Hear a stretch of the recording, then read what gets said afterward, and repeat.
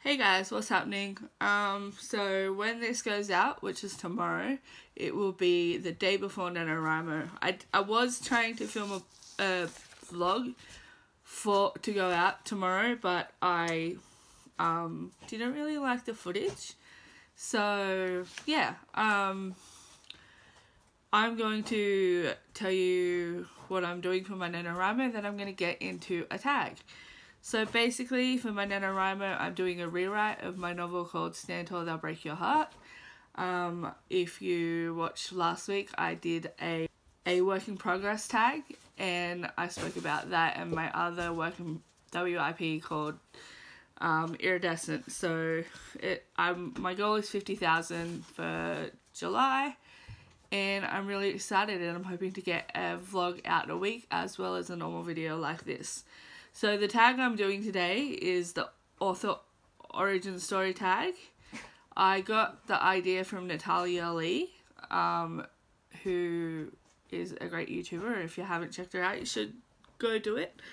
Um, the original tag was by Evie Driver, I think. I hope I got that name right. I will also tag her below and where to get the questions from. Um, if you see me looking down, once again, that's because I have the questions in my hand printed out. Uh, yeah, I think there are 15 questions, so let's just jump into it. Question one, backstory.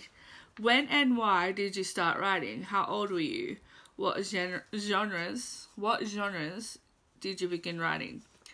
So the when, I was about 12. I had all these empty notebooks and stationery and things like that and um, yeah, I didn't know what to do with them. One day, my friends didn't come to school, like both of them just took the day off.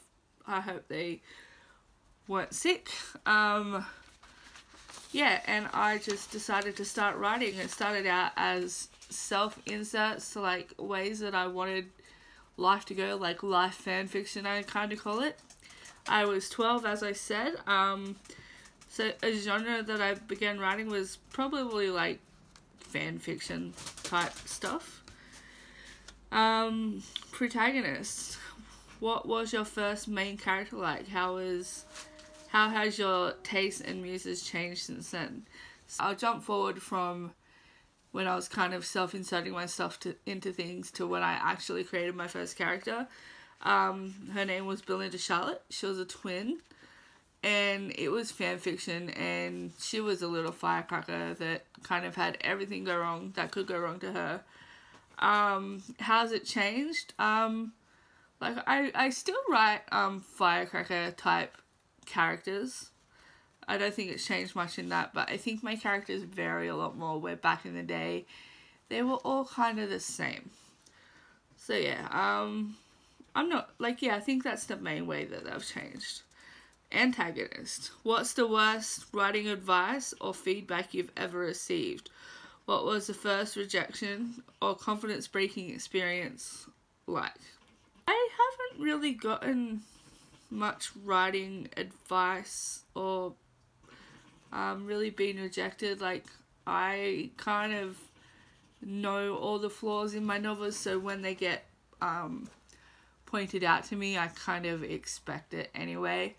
Um, I do remember um, last year in uni, like my writing was kind of picked apart pretty terribly, and that that was kind of harmful. Well, not harmful, but I kind of took that kind of badly. But I just kind of let that go and kept writing. Um, yeah, I don't really know that question. I try to just shrug the negativity off, and I know that my writing hasn't always been the best, and it's not going to be the best in the world, and that's fine with me. If people want to be unfairly negative, then that's fine. I, I always accept constructive criticism. And number four, superpower.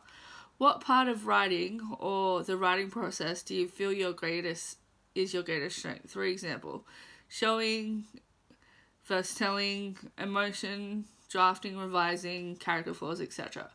I'm really good at emotion. I think I can really um, write emotional scenes really well. Like, I've had compliments on that, and when I read back some of my stuff, I really get emotional myself. Um, yeah, so someone else might say something different, but I think emotion is my is my is my jam. Number five, kryptonite. What part of writing or the writing process do you think is your weakest? So the actual writing, I think I use too much dialogue.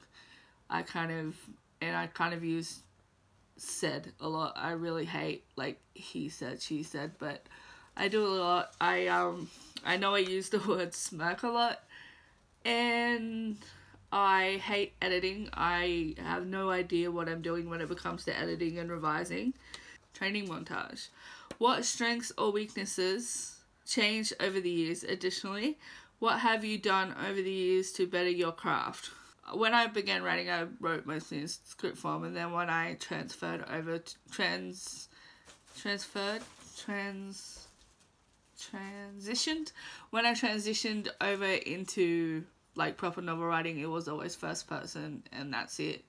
And then I gave third person a go it was like a whole new world and I really enjoy writing mostly in um, third person unless it's realistic fiction and then I write in first person.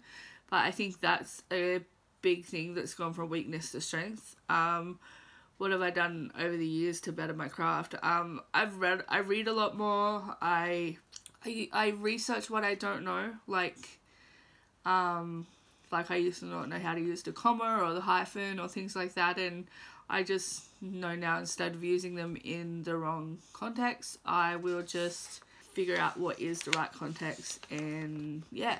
And another thing that has changed is I can, even though I still hate the editing and revising thing like monumentally, I know I can read over now and change things and that where before I used to just not accept that my writing needed changing. Number seven, weapon of choice. What programs have you used over your writing journey? What is your favorite now and why? So I've used WordPad, I think it was called. Like it's really one that used to come free on computers. Um, when I'm desperate, I've used Notepad. I've used Libre, which is a free open source if anybody needs something. Um, I've used Microsoft Word. I'm currently using Scrivener with Write or Die. I've used Google Docs. I've used pen and paper. Um, I really like pen and paper, um, but I haven't done that in such a long time. So I think that my weapon of choice would be. If you can see my cat again, I don't care. He's cute. Um, my weapon of choice would be at the moment would be Scrivener, but I also really enjoy using Microsoft Word. I one of my favorite things about Scrivener is you can see how many words you've done in a writing stint without too much effort. Trusted sidekick. Every Robin, every Batman has his Robin. What is your favorite companion to cuddle or consume while writing? Has this changed over the years? If if so, does um, this also differ from daytime to nighttime. Um, I always have one of my pets with me. Um, usually I'm cuddled up to this guy on my desk, um, or or Angel, who you've probably seen in other videos. I always have a bottle of water. I am really bad at like um, munching. Like I'm a really bad grazer. in to put it in animal terms, um, I pick the worst foods, but yeah, I always like to have something to munch on in one of my animals. Um, so yeah, they're my little sidekicks, and it doesn't differ from day to night. It hasn't really changed. It's always been one cat or another, one dog or another. When I um, used to write, when I lived at home with my mom, I used to use I used to use the animals as laptop tables. Um, yeah, I've broken a lot of USBs like that and I wouldn't recommend it. Zero to hero. When you first, number nine by the way, when you first began this journey, what level of success did you imagine for yourself?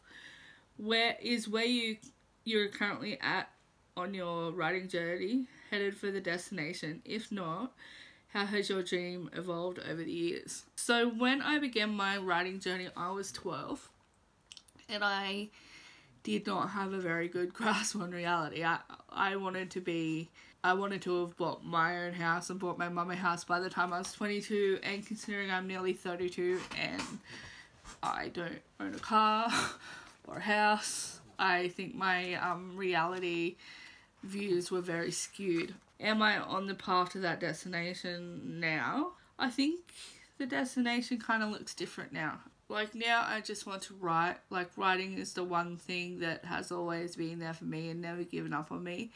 So, I just never want to give up on it. And as of last month, I really do think that I am kind of on a journey to getting published and keep on getting published. Um, so, that one's really like hard to answer. But, um, yeah, I think I'm on on a on a journey to a pretty good destination. Whatever that destination looks like, I'm not sure, but I think that I have the the willpower to get somewhere good with my writing. Remember my name, Fame. What authors help you realize your interest or passion for writing? What books helped you shape your writing style, genre of choice, or tastes? So, authors I really enjoy Maria V. Snyder, Laurie Halse Anderson. I don't really have, so other than those two, really, I don't really have favorite authors. I have books I enjoy and stuff like that, but most of my writing has been shaped off life interests. A lot of my writing has been inspired more by music than other authors. I, I do read books and learn like a lot about um, setting and and how to actually write dialogue and yeah more music has shaped my writing style like when I'm with stories and genre and yeah um, because of my high school experience and stuff like that I haven't really had the typical introduction into writing that a lot of writers do and I'm not trying to just generalize a lot of writers or stereotype a lot of writers but um, number 11 Marvel Marvel vs DC Marvel by the way um, comparison is dangerous how has comparing your journey, your author journey to others, dismantled or helped your own?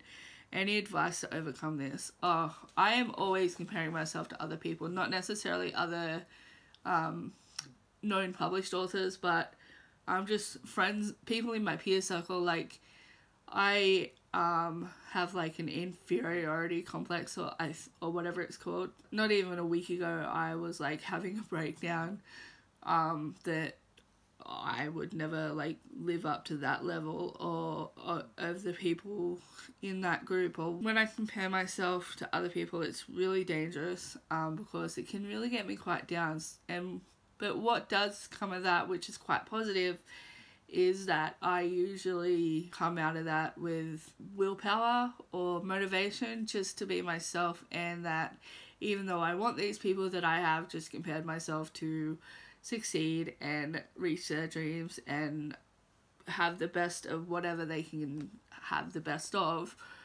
I just think that I just need to remember that this is my journey and it's not like everybody else's. And I think if I was to turn that around for advice, I'd be that people should just remember that all journeys are different.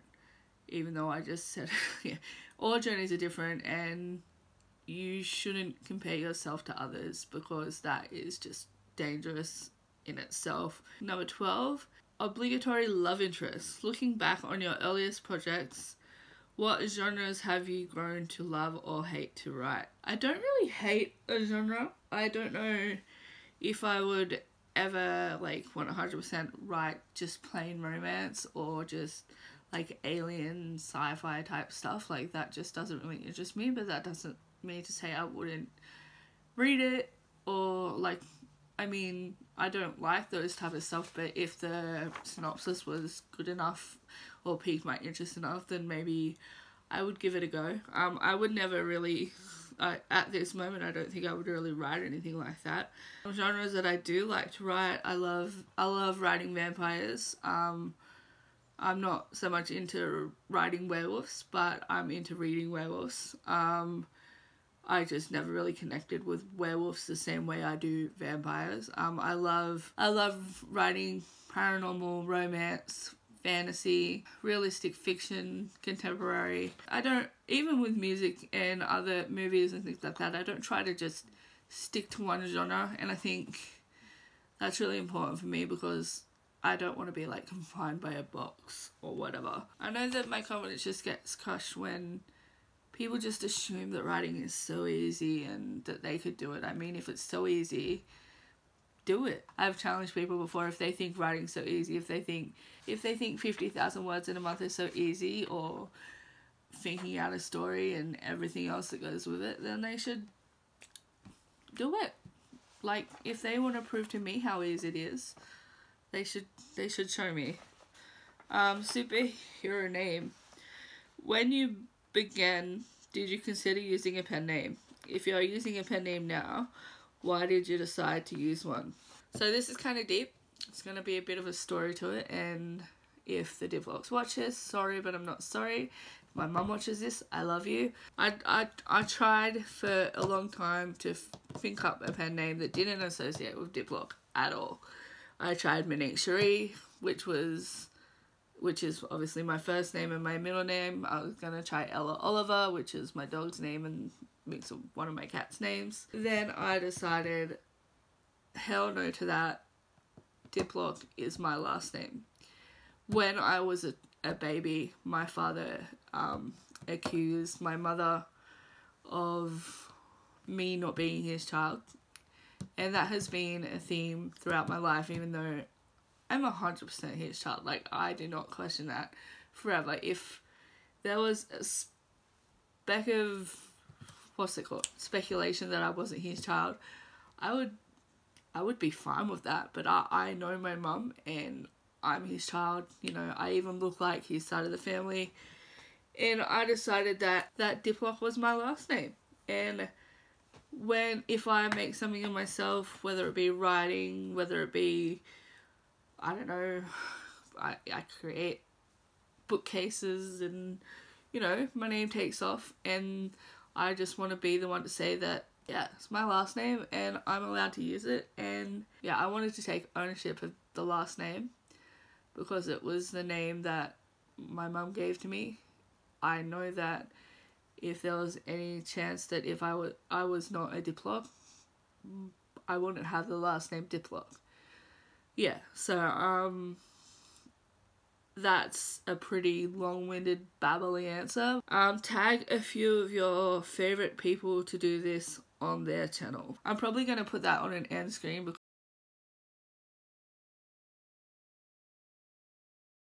So this is the blog post of the week and this is the book review of the week.